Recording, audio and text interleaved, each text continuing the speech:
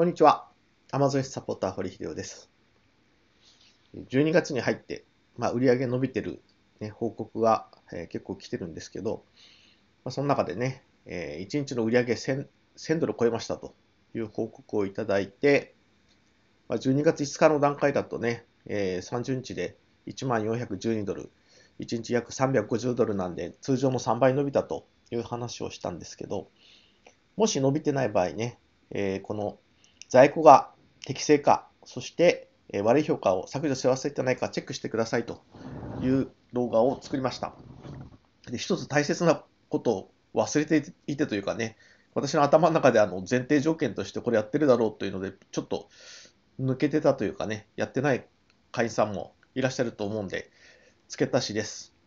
非常に重要なことなんですけど、毎日カートが取れてるかチェックしてください。あるいはね、消費数が多くてもカートチェック大変だという場合はね、カートが取得できるように価格設定ツールを使ってください。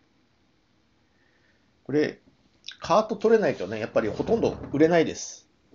で、カートがと、カートを取って売ると、でいくらでカートが取れるか、人より高く取れるか、まだ人より安くないと取れないのか、え強いライバルがいるのか、すごい競争するライバルがいるのか、まあ、この辺非常に重要なんでね、このカート取得価格をどう調整するか、その記事も作りました。まあ、こちらの方をね、確認してください。で、個別サポートの会員さんはね、えー、もうこれカート取れませんと、あるいはね、この価格で取れるでしょうかというようなね、えー、サポート全部してますんで、お気軽にご相談ください。在庫が切れてない、長期在庫もないと、売れるものはカートを取って売ってると、